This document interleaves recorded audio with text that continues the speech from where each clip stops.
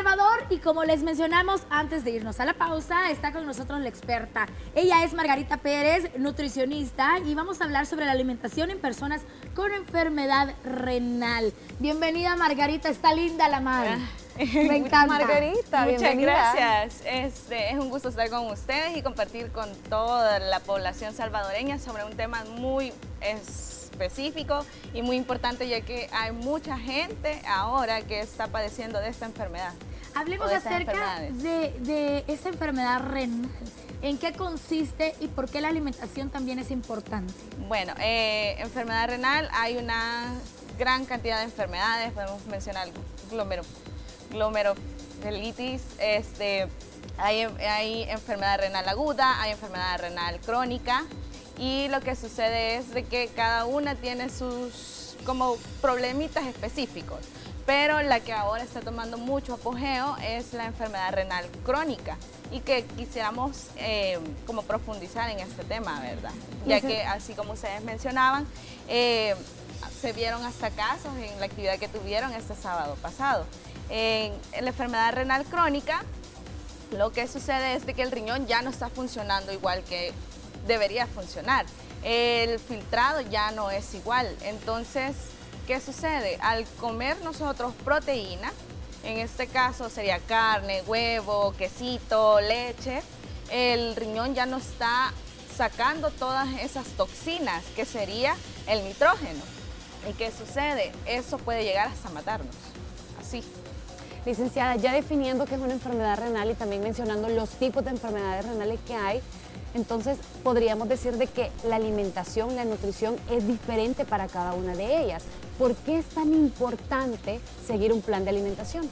Vale, porque es importante. Primero porque, este, como mencionábamos, hay diferentes, ¿verdad? Hay casos cuando es una enfermedad renal aguda, lo que viene un médico especialista dice, ah, bueno, solo tenemos que dejar de consumir mucha proteína. En este caso, mire, vamos a bajarle al pollo, vamos a quitar un poquito del quesito fresco, ya no va a comer carne y vamos a quitar algunas vegetales porque esos tienen alto contenido de potasio. Ahora, ¿qué sucede? Este, cuando ya es una enfermedad renal crónica, pues eso que dijimos que íbamos a disminuir, ya no lo podemos comer. Y entre esos está, por ejemplo, el plátano. El plátano, una persona con enfermedad renal crónica ya no la puede comer. ¿Por qué? Por el alto contenido de potasio. Entonces, aunque mencionarles que es importante estar con un especialista porque por medio de esto se puede guiar, por ejemplo, la preparación o las cantidades ya medidas. Hay, eh, eh, hay pacientes que, por ejemplo, piden comer un pedacito de plátano, ¿verdad? ¿Y cómo podemos hacer para darle ese plátano? Pues, este, debería de cocerse casi que tres veces, zancocharse y luego todavía asarse. Entonces, esa es una como manera para poder comer plátano, pero es bien específico. Hay que tomar en cuenta también el hecho de que esta alimentación tiene que ser muy controlada, porque como usted lo decía, eh, hay una- un alimento por una persona que tenga un problema renal crónico, eh, te puede llegar hasta matar porque te puede complicar en cualquier segundo por la cantidad de toxinas que tu cuerpo no puede expulsar. Ujú. Pero vamos al punto de los alimentos que sí debemos de comer, porque sabemos que los, eh, los pacientes con enfermedades renales tienen un déficit de muchas cosas, porque no pueden consumir proteínas, porque no pueden consumir no sé qué, el potasio y todas esas cosas como usted nos estaba diciendo. ¿Qué alimentos son los que podríamos usar suplementarios que podrían funcionar para estas personas que están sufriendo este tipo de enfermedades? Realmente, así como alimentos permitidos son bien pocos. Pero todo esto se hace específico de cada persona, porque muchas veces no es solo la insuficiencia renal la que tiene, sino que esto se desarrolló porque venía presentando otra patología, por ejemplo una diabetes, una hipertensión que se complicó y se desarrolló la insuficiencia renal. Entonces viene uno y comienza a restringir muchos más alimentos. Ahora, quizás como permitidos, eh, si son bien mínimos, tal vez estaría el, el pipián, y a algunos no les gusta. Tenemos este, cuando ya se recibe diálisis contestando su pregunta, este, se puede permitir una o dos veces por semana, tal vez huevito Este café definitivamente no pueden tomar y cuántos salvadoreños no aman el café, ¿verdad? O sea, eliminado completamente la dieta del café. Eh, sí, tendría que eliminarse, además de que hay, hay veces un paciente con insuficiencia renal crónica tiene un eh, límite de líquidos que tiene que consumir porque también se está acumulando mucho líquido en el cuerpo. Entonces, todo eso también influye. Increíble, la verdad que eh, hay cosas que pasamos en nuestro día a día y siempre recordar de que, de que ese programa es un programa donde también queremos llevar una conciencia a la hora de alimentarnos bien, tenga o no tenga un tipo de enfermedad, pero en este caso que estamos hablando de la renal, entonces la preparación, me llamó mucho la atención de la preparación del plátano. ¿Por qué es importante la preparación o qué es lo que sucede? Ok, este, en este caso lo que sucede es de que el plátano, como yo les mencionaba, tiene mucho potasio. Entonces, el potasio se puede ir quitando, eliminándolo por medio de hervir el plátano. Entonces, ¿por qué es necesario hervir el plátano hasta como tres veces?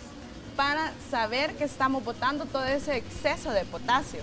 ¿Qué hacemos después? Aún así, quedan restos y se puede llegar hasta sal. Una persona, por ejemplo, con insuficiencia renal no puede tomar una sopa porque ¿qué le ponemos? Ejote, brócoli, hay veces zanahoria, todas esas cosas tienen un alto contenido de potasio. ¿Y qué sucede? En el caldo donde queda el, Ahí es donde queda el, exceso de, de esos micronutrientes. Licenciada, ¿cuáles serían entonces los fundamentos de la dieta renal? Fundamentos. Bueno, realmente es necesario hacer como una evaluación y quizás lo que siempre se elimina es el alto contenido de proteína, el alto contenido de potasio, fósforo.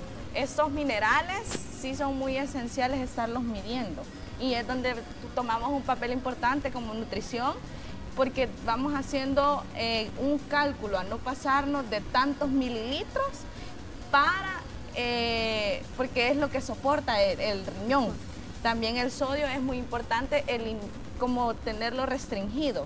Es bien complicado eh, el hecho de esta dieta porque sabemos de que hay que tenerle un cuidado bien y a veces somos tercos y no queremos hacer caso, pero hay que hacer mucho énfasis y yo quiero que también nos mencione esto, el tema de, cuidar muchísimo a la hora de, la dieta. Bueno, en las instituciones públicas hay nutricionistas que también pueden dar esta ayuda a las personas que tal vez no pueden tener este acceso a un nutricionista, pero quiero que haga énfasis a la importancia de llevar junto con este tipo de enfermedades una, una nutrición balanceada y controlada por un especialista para evitar que se complique. Que no entren en internet y que se busquen ahí. Ah, que no busquen dietas en línea. Sí, la verdad es que eh, muchas veces encontramos en internet una cantidad de dietas, ¿verdad? Aún cuando queremos bajar de peso o cosas así, encontramos un montón de cosas, pero ¿qué tan adecuado es? Por ejemplo, vaya, aquí una pregunta, ¿ustedes alguna vez o han conocido a alguien que ha hecho lo de tomar el limón con agua? En ayunas para, bajar de peso. Ese es algo bien popular, pero ¿qué sucede? En realidad eso no nos ayuda. Siempre es necesario estar en manos con un experto y como usted mencionaba, este, en las unidades de salud, en los hospitales se encuentran em, algunas veces un nutricionista y no es necesario estar enfermo o que necesito bajar de peso o quiero subir, sino que siempre eh, desde pequeños tenemos que estar conociendo cuál es la alimentación adecuada. ¿Por qué? Porque también la alimentación de niño influye en la adultez. Y bueno, estamos hablando sobre las enfermedades renales y la alimentación en ella, pero también me gustaría como dejarle algunos tips a todas aquellas personas que tienen familia o que, eh, que pueden apoyar en este, ser ese, ese equipo motivador para esta persona que está padeciendo esta enfermedad. ¿Cuáles son los instrumentos que se pueden utilizar? Por ejemplo, los medidores eh, para poder ver cantidades. ¿Cómo podemos realmente? Porque yo te soy sincera. O sea, lo buen salvadoreño, aquí agarramos lo, más, lo más barato es que sí. Por, ¿Cuáles son estos alimentos que son un poquito más económicos para poder llevar este tipo de nutrición? Y también esos tipos de herramientas que, que, que los, los, bueno, nosotros le decimos Pyrex, ¿cómo se le podría decir? Los toppers, los toppers, que una, una, un pichón o pachón con medidas, ¿qué, podemos más meter a nuestra casa que pueda ayudar también y facilitar a la hora de ir a trabajar o hacer cualquier actividad y tener medida nuestra alimentación? Eh, nosotros cuando hacemos un menú, por ejemplo, usamos mucho las cantidades en onzas o en tazas. Entonces, ¿qué es una taza? El vasito donde le venden el café, la cora de café en las mañanas, eso son 8 onzas, ese vasito.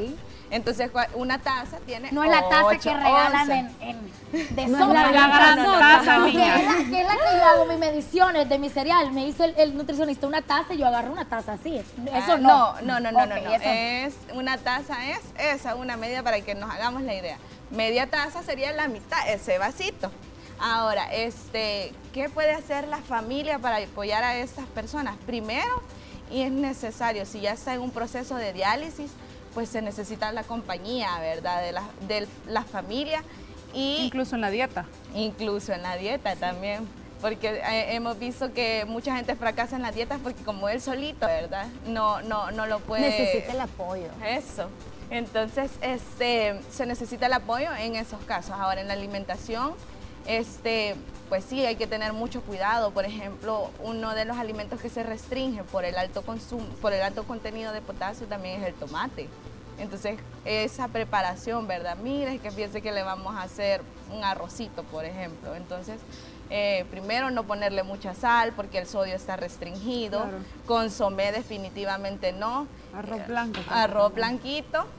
Y se, se, va a acompañar con algo más, pues este, igual no hacer así como que, ay no, qué feo lo que estás comiendo, porque de verdad ya el paciente ya se siente mal, ya sabe que no tiene tanto sabor como la comida que se prepara generalmente por todo lo que no se le agrega.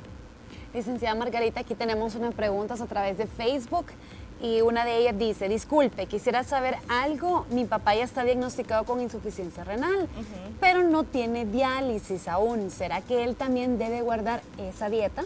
Sí, es necesario que comience a disminuir el consumo de sodio, eh, queso duro, quitar la sal, quitar consomés, cubitos y comenzar a restringir un poquito lo que es este, la proteína, porque lo que no queremos es que se acumule mucho nitrógeno, lo cual es tóxico para el cuerpo. Entonces, esa es una manera de ayudarlo. Igual, hay muchos más alimentos que se tienen que restringir, pero eso sí tiene que ser ya con una ayuda profesional. Ahora, y si mencionamos un poquito acerca de las bebidas, ¿realmente solo tienen que consumir agua o tal vez se puede consumir alguna limonada, algún refresco natural? Como les mencionaba anteriormente, eh, realmente la insuficiencia renal casi viene unida con otra patología. Entonces, si es una diabetes, no podemos recomendar una limonada, lamentablemente. ¿Por qué? Porque la cantidad de azúcar. Entonces, eh, por excelencia, el agua. Me parece muy bien el agua, es una de las mejores opciones para, nuestra dieta.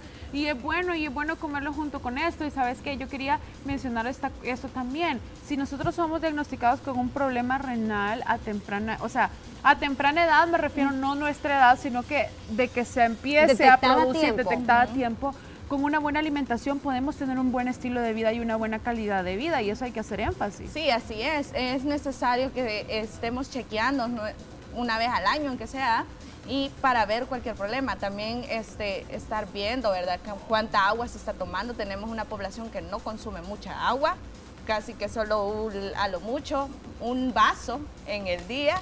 Entonces tenemos que consumir más agua. ¿Por qué? Porque los riñoncitos son los que, que me roban las botellas aquí estos monos. Mira, Ah, ok. Solo son pretextos.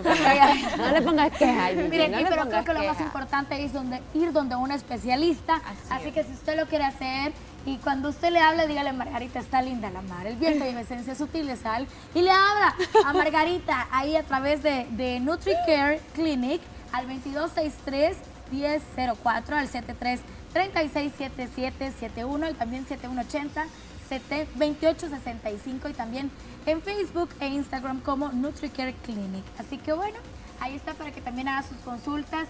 Margarita, mil gracias por tu disposición, acompañarnos en esta mañana en el mes de septiembre. Claro, es un gusto estar con ustedes y saben que estamos a su disposición en cualquier caso. Eh, es necesario la ayuda profesional, no se deje ir por lo que dice en internet ni lo que dice la vecina y estamos en NutriCare para servirles. Eso es muy importante. Ahí está. Muchísimas gracias, licenciado, por toda la información que nos acaba de brindar. Nosotros vamos a ir a una pausa, pero antes queremos dejarles algunas informaciones.